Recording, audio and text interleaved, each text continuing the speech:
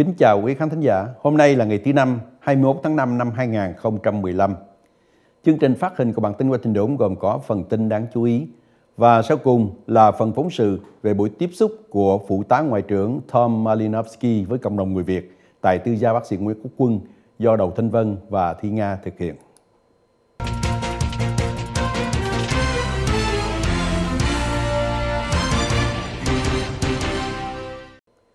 Phần tin đáng chú ý gồm có những tin chính sau đây. Trung Cộng cảnh cáo phi cơ Mỹ dò thám trên biển Hoa Nam. Các ngân hàng thế giới nhận tội thao túng hối suất. Tập tài liệu của Bin Laden được phổ biến. Trước hết, kính mời quý khán thính giả theo dõi bản tin chi tiết. Mỹ và Cuba chú trọng tới việc mở lại các tòa đại sứ trong cuộc đàm phán. Hoa Kỳ và Cuba tái tục cuộc đàm phán hôm nay nhằm vượt qua những trở ngại để mở các tòa đại sứ tại các thủ đô của nhau và tái lập bang giao. Hoa Kỳ muốn bảo đảm rằng những nhà ngoại giao của họ có thêm tự do đi lại, trong khi ông Castro trong tuần này đã lặp lại mối lo ngại của Cuba cho rằng những nhà bất đồng chính kiến sẽ nhận được sự huấn luyện bất hợp pháp tại phái bộ đại diện quyền lợi của Mỹ ở Havana. Phụ tá Ngoại trưởng Hoa Kỳ Roberta Jacobson bảo đảm với các nhà lập pháp trong cuộc điều trần hôm qua rằng Hoa Kỳ sẽ không đồng ý mở tòa đại sứ ở Havana mà không có việc các nhà ngoại giao của họ có thể đi lại bên ngoài thủ đô. Một trong những vấn đề gây tranh cãi nhiều nhất giữa hai nước cựu thù là cái mà Hoa Kỳ gọi là chương trình ủng hộ dân chủ cho Cuba, mà ông Castro cho rằng bất hợp pháp và vi phạm các hiệp ước quốc tế về sứ mạng ngoại giao. Các thượng nghị sĩ cố ngăn chặn việc gia hạn thu thập dữ liệu điện thoại. Đảng viên Cộng hòa Rand Paul làm gián đoạn cuộc bàn cãi tại Thượng viện hôm qua để đọc bài diễn văn chống đối luật gia hạn cho các cơ quan gián điệp Hoa Kỳ thu thập dữ liệu điện thoại của người dân Mỹ. Ứng cử viên Tổng thống năm 2016 này chấm dứt bài diễn văn kéo dài khoảng 10 tiếng rưỡi đồng hồ chỉ gần lúc nửa đêm. Sau đó, ông đã hợp cùng những nhà lập pháp khác, kể cả đảng viên Dân Chủ Ron Wyden, người cũng muốn thuyết phục Thượng viện đừng gia hạn các điều khoản của luật USA Patriot Act, vốn cung cấp căn bản pháp lý cho việc thu thập hàng tỷ hồ sơ điện thoại. Mặc dù đảng Cộng hòa kiểm soát lưỡng viện quốc hội, các nhà lập pháp cũng không thể thỏa thuận về cách làm thế nào đối phó với việc mãn hàng vào ngày 1 tháng 6 của các điều khoản đó. Những người chống đối cho rằng việc thu thập đó xâm phạm quyền riêng tư của người dân trong khi những người ủng hộ xem đó là phương tiện để bảo vệ đất nước trước những mối đe dọa an ninh. Trung Cộng cảnh cáo phi cơ Mỹ dò thám trên biển Hoa Nam. Hải quân Trung Cộng cảnh cáo một chiếc phi cơ dò thám của Hoa Kỳ bay trên vùng đảo nhân tạo mà Bắc Kinh xây dựng ở biển tranh chấp Hoa Nam phải rời khỏi khu vực này 8 lần. Sau khi phi công Mỹ đáp lại rằng phi cơ này đang bay ngang qua không phận quốc tế, người điều khiển máy liên lạc của Trung Cộng nói bằng giọng phẫn nộ cho biết đây là hải quân Trung Cộng và yêu cầu phi cơ Mỹ hãy rời khỏi. Chiếc P-8E Poseidon, phi cơ trinh sát tối tân nhất của quân đội Mỹ bay ở mức 15.000 bộ vào lúc thấp nhất.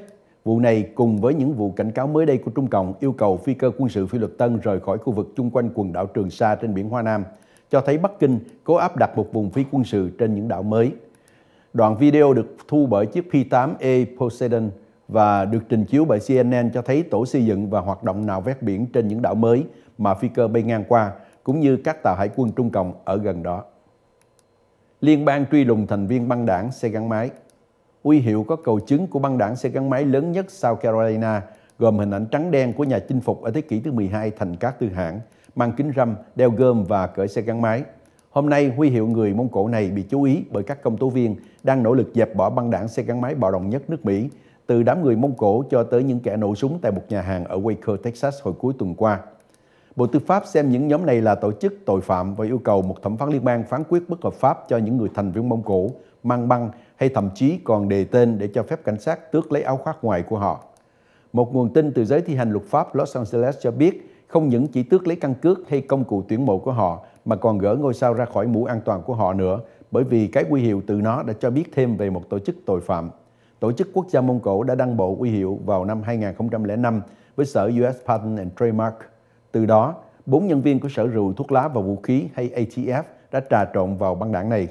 Vào năm 2008, cơ quan ATF đưa ra 110 lệnh bắt giữ tại bốn tiểu bang, cáo buộc thành viên của băng đảng này là sát nhân, buôn ma túy, ăn cướp, tống tiền và rửa tiền. Như là một phần của thỏa thuận, trưởng nhóm này đã giao quy hiệu Mông Cổ cho Bộ Tư pháp và một thẩm phán liên bang ban hành lệnh cấm các thành viên nhóm này mang, xin giấy phép, bán hay phân phối bất cứ vật liệu nào mô tả nhà gây chiến Mông Cổ. Vài năm sau đó, khi một thẩm phán khác bãi bỏ một phần lệnh cấm, thì chính phủ và nhóm quốc gia Mông Cổ lại đưa nhau ra tòa vào ngày 2 tháng 6 tại Los Angeles để tranh cãi lại vụ này và xác định xem giờ đây ai là người làm chủ huy hiệu đó. Các ngân hàng thế giới nhận tội thao túng hối suất. Hôm qua, bốn ngân hàng lớn đã nhận tội cố tình thao túng hối suất ngoại tệ và cùng với hai ngân hàng khác bị phạt gần 6 tỷ Mỹ Kim qua một cuộc dàn xếp nữa trong một vụ điều tra toàn cầu về thị trường hối đoái trị giá 5.000 tỷ Mỹ Kim một ngày. Các ngân hàng Citigroup, JP Morgan Chase, Barclays, UBS AG và Royal Bank of Scotland bị cáo buộc bởi các viên chức Hoa Kỳ và Anh Quốc về tội lừa bịp khách hàng để tăng lợi nhuận bằng cách dùng phòng chỉ mời chuyện trò trên mạng và ngôn ngữ mật mã để điều hợp các vụ giao dịch của họ. Vụ lừa đảo này xảy ra cho tới năm 2013 sau khi các nhà kiểm soát quy luật khởi sự phạt vạ các ngân hàng gian lận về hối suất do ngân hàng quốc tế ở London đưa ra và các ngân hàng đã hứa cải tổ cách thức làm ăn và gia tăng sự tuân thủ luật lệ. Tổng cộng nhà chức trách Hoa Kỳ và Âu Châu đã phạt 7 ngân hàng hơn 10 tỷ Mỹ Kim vì không ngăn chặn những người giao dịch cố tình thao túng hối suất ngoại tệ, vốn được dùng hàng ngày bởi hàng triệu người. Bộ Tài chính Mỹ đã buộc đơn vị chính Citicorp của ngân hàng Citigroup cùng các ngân hàng chủ của JP Morgan, Barclays và Royal Bank of Scotland phải nhận tội hình sự do Hoa Kỳ cáo buộc. Các ngân hàng Citigroup, JP Morgan và Barclays sẽ nhận được sự miễn trừ của Ủy ban chứng khoán và hối đoái Hoa Kỳ để họ có thể tiếp tục nhanh chóng phát hành các chứng khoán mới cùng làm ăn với quỹ hỗ tương và quỹ hối đoái.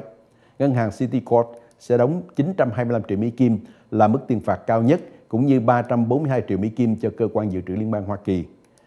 Phần đóng phạt hình sự của ngân hàng JP Morgan là 550 triệu Mỹ Kim và ngân hàng này còn đồng ý đóng phạt cho cơ quan dự trữ liên bang 342 triệu Mỹ Kim. Ngân hàng Barclays của Anh bị đóng phạt tới mức cao kỷ lục là 2,4 tỷ Mỹ Kim. Ngân hàng Thụy Sĩ UBS sẽ đóng phạt 203 triệu Mỹ Kim và còn đóng cho cơ quan dự trữ liên bang 342 triệu Mỹ Kim. Ngân hàng Royal Bank of Scotland sẽ đóng phạt hình sự là 395 triệu Mỹ Kim và đóng tiền phạt cho cơ quan dự trữ liên bang 274 triệu Mỹ Kim. NSA có thể cần bắt đầu giảm dần chương trình theo dõi trong tuần này. Bộ Tư pháp đã thông báo cho giới lập pháp biết rằng cơ quan an ninh quốc gia hay NSA sẽ cần bắt đầu dẹp bỏ việc thu thập quy mô hồ sơ điện thoại của dân Mỹ sau ngày mai nếu Quốc hội không hành động để tái ủy quyền hay tu chính chương trình này. Bộ này nói rằng cơ quan NSA sẽ cần hành động để bảo đảm là họ không can dự vào bất cứ việc thu thập không được cho phép nào hay dùng các dữ liệu nếu chương trình này không được Quốc hội gia hạn vào thời hạn cuối bắt buộc là 1 tháng 6. Bản thông tư cũng còn ghi rằng án lệnh hiện tại ủy quyền cho chương trình này đòi hỏi chính phủ phải đề nộp bất cứ sự gia hạn nào không trễ hơn là ngày mai nếu họ định tiếp tục thu thập. Lãnh tụ khóa đa số thượng viện Mitch McConnell cho biết hôm thứ Ba rằng ông dự định cho phép biểu quyết dự luật của Hạ viện thông qua nhằm cải tổ chương trình này. Dự luật đó được thông qua với gần 200 đảng viên Cộng hòa bỏ phiếu, nhưng ông McConnell chống đối nó và cho biết rằng nó sẽ không đủ 60 phiếu cần thiết để được xúc tiến tại Thượng viện. Thay vì vậy, ông nêu lên việc có thể gia hạn ngắn cho luật ủy quyền hiện tại theo khoảng 215 của luật Patriot Act. Phi thuyền của không lực được phóng lên với sứ mạng bí mật. Hỏa tiễn United Launch Alliance Atlas 5 đã được phóng lên từ mũi Canaveral hôm qua, đẩy chiếc phi thuyền không gian quân sự không người lái vào quỹ đạo trong một sứ mạng bí mật. Nhờ hỏa tiễn Atlas đẩy lên còn có 10 vệ tinh nhỏ CubeSat kể cả vệ tinh Lysel được cung cấp bởi Planetary Society để thử nghiệm tính khả thi của việc dùng ánh sáng mặt trời cho lực đẩy. Ba sứ mạng trước đây kéo dài tổng cộng 1.367 ngày trên quỹ đạo, tức là khoảng một tháng lâu hơn các phi thuyền con thôi của NASA tích lũy trên 135 sứ mạng. Chuyến bay mới nhất của chiếc X-37B kéo dài 674 ngày, nhưng không lực chỉ cung cấp một ít chi tiết và không tiết lộ các mục tiêu của sứ mạng, các thông số quỹ đạo hay khi nào phi thuyền sẽ đáp xuống ở căn cứ không quân Vandenberg thuộc California là nơi chuyến bay trước đã kết thúc hay tại trung tâm không gian Kennedy thuộc Florida là nơi công ty Boeing đã chiếm hai tòa nhà điều khiển phi thuyền con thôi cho chương trình X-37B. Tập tài liệu của Bin Laden được phổ biến. Các viên chức tình báo hôm qua đã cho phổ biến tập tài liệu được khám phá trong cuộc đột nhập hồi năm 2011 vào tòa nhà của Osama Bin Laden, mở ra cho thấy hoạt động của Al-Qaeda và việc Bin Laden lãnh đạo hệ thống này từ nơi trú ẩn của ông ta ở Pakistan. Các tài liệu này bao gồm hàng tá bức thư mà một số của chính Bin Laden cũng như chi tiết kế toán và thậm chí những gì có vẻ như là một mẫu đơn gia nhập cho các thành viên Al-Qaeda tương lai. Không bao lâu trước khi ông ta bị hạ sát trong cuộc đột nhập hồi tháng 5 năm 2011, một bức thư cho thấy ông ta chào mừng cuộc cách mạng mùa xuân Ả Rập vốn đã lật đổ lãnh tụ Tunisia vào thời điểm đó và gia tăng tại một vài nước khác. Một tài liệu khác phản ứng lại trong một trong những bài diễn văn trước quốc dân của Tổng thống George W. Bush lúc bấy giờ, cảnh cáo rằng những động cơ đưa đến vụ 11 tháng 9 vẫn còn đó. Văn phòng của Giám đốc Tình báo Quốc gia cho biết giới tình báo sẽ duyệt xét thêm hàng trăm tài liệu nữa trong tương lai gần để có thể giải mật và phổ biến. Những tài liệu được khám phá từ tòa nhà đó hồi 4 năm về trước giờ đây mới được cho phổ biến vì luật buộc giải mật chúng. Kính thưa quý khán thính giả, bản tin qua tình đấu xin tạm ngưng ở đây để kính mời quý vị theo dõi phần thông cáo và quảng cáo. Mới bước vào cửa là đã thấy sống động. Nơi luôn luôn đáp ứng mọi đòi hỏi của quý vị.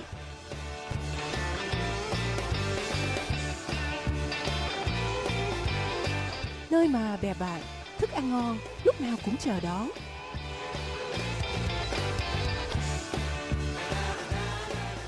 Chỉ có ở sông bài live. Always live, always on. Nhà hàng Eden Kitchen có một thực đơn đầy đủ và các món ăn đặc sản Việt Nam như cơm tấm đặc biệt, bò lúc lắc, hủ tiếu Nam Vang, mì khô đồ biển, nem nướng kali, lẩu thập cẩm, canh chua cá kho tộ và chuyên trị phở. Nhà hàng Eden Kitchen nhận đặt tiệc sinh nhật, dạ yến cho các công ty và họp mặt hội đoàn, trang trí sang trọng, tiếp đón ân cần, mở cửa mỗi ngày, có nhận credit card. Nhà hàng được tọa lạc tại Eden Center 6793C Wilson Boulevard, Fort Church, Virginia 22044 bên phải của tàu hủ Thanh Sơn, điện thoại số 703 534 Eden hay 703 534 3336. Hủ tiếu mì La Cây chợ lớn đã nổi tiếng từ thập niên 60. nay xin phục vụ quý khách vùng thủ đô Hoa Thịnh Đốn tại trung tâm thương mại Eden Center. Hủ tiếu mì La Cây chợ lớn tọa lạc tại số 6793 Wilson Boulevard, Fort Church, Virginia 22044. Điện thoại liên lạc 703 531 1420 703 531 1420. Tàu hủ Thanh Sơn, nơi nhộn nhịp nhất tại thương xá Eden, luôn có quý khách xếp hàng thật dài. Tàu hủ Thanh Sơn, nơi của quý đồng hương yêu chuộng chè, xôi, chả cá, chuối nướng, khoai mì dừa. Đặc biệt trà chân châu, tàu hủ đủ loại, sữa đậu nành, giò lụa, giò bì và nhiều món ăn đặc biệt theo mùa như bánh trung thu và bánh chưng. Tất cả món ăn được nấu và sản xuất tại chỗ. Mở cửa mỗi ngày từ 10 giờ sáng tới 8 giờ tối. Địa chỉ số 6793 Wilson Boulevard, Fort Church, Virginia 22044. Điện thoại số 703 534 1202 703 534 1202.